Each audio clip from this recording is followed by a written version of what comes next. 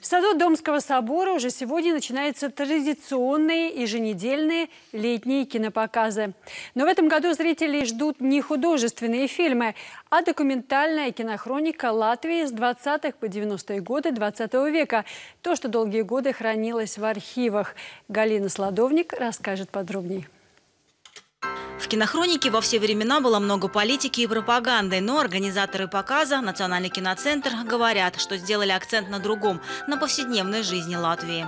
Как происходит э, рано утром в 5 часов уборка э, возле монумента свободы, Бревибис пименеклс там вокруг, э, или как в предместьях Риги, которые сейчас мы знаем, Торня Каунс, например, застроен домами, там еще э, сплошные э, большие поля, за которыми далеко можно видеть э, башни Риги. Все киносеансы, их будет в течение месяца четыре, предваряет небольшая лекция. В этом году приглашены два историка, публицист и политолог. Сегодня со зрителями о событиях 20-30-х годов прошлого века поговорит Ива Сепс.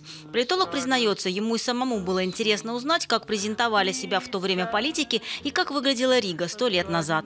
Появляются большие предприятия, которые рекламируются ну, скажем, Тюза нынешняя, Стабурадзе, это кондитерская фабрика, там очень долго и очень интересно показывает, как они в там времена, в те времена тут печенье пекли, шоколад делали, это во многом происходило вручную, и там такие, ну, скажем так, э, интересные вещи э, наблюдаются. И потом, конечно, Улманис. Улманис очень любил и фотографироваться, и сниматься в кино, и в этом смысле тут довольно много всех этих его, скажем так, выступлений и так далее. Некоторые кинокадры показывают, как люди представляют свое будущее. Например, Рождество 1939 года. Тогда кинодокументалистам казалось, что Вторая мировая война Латвию обойдет стороной.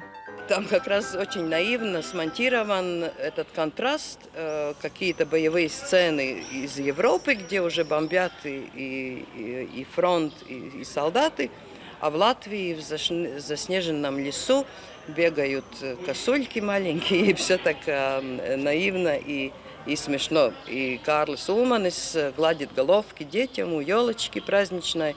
Кинопоказы в саду Домского собора начинаются сегодня. Зрители увидят кинохронику 20-30-х годов. 19 июля будет показана хроника 40-х, 50-х. Лектор-историк Каспар Зелес. 26 июля 60-е и 70-е годы. И рассказ о них историка Венца Звайгзне. 2 августа 80-е и 90-е годы. И лекция публициста Сармита Эллерте.